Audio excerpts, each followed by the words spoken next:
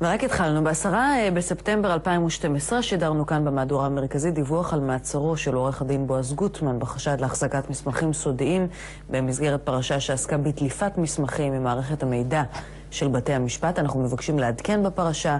הפרקליטות סגרה את התיק נגד עורך הדין בועז גוטמן בעילה של חוסר אשמה. אנחנו ממשיכים בפרק המגזין במוסד